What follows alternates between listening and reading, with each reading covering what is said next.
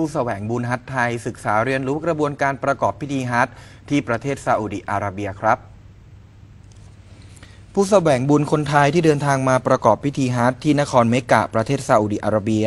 ได้ใช้เวลาว่างเว้นจากการปฏิบัติศาสนกิจในช่วงเช้า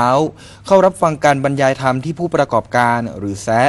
ได้จัดให้ความรู้ด้านต่างๆ ในการเตรียมความพร้อมก่อนเข้าสู่การประกอบพิธีฮัจญ์ โดยเนื้อหาสำคัญของการบรรยายให้ความรู้ประกอบด้วยหลักการและขั้นตอนต่างๆ ของการประกอบพิธีฮัจ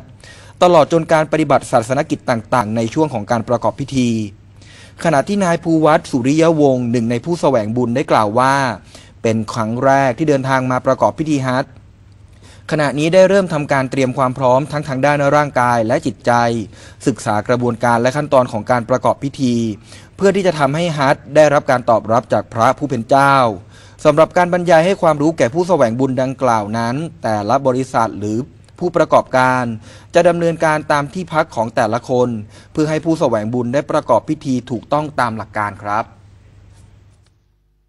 ว่าการทำฮัทเนี่ยไม่จำเป็นต้องมาในในในช่วงแบบบั้นปลายชีวิต หรือว่าอาจจะต้องรอให้มันจุดหนึ่งก่อนแล้วค่อยมาอย่างเงี้ยครับซึ่งมามันก็เหมือนกับการที่นอกเหนือจากอิบาดัตแล้วเรายังได้ท่องเที่ยว ยังได้แบบหาประสบการณ์รวมถึงอย่างอย่างอย่างอันเนี้ยที่ผ่านมามันจะมีคลาสการเรียนนะครับ เราได้ศึกษาศาสนาด้วย ซึ่งบางสิ่งบางอย่างที่เรา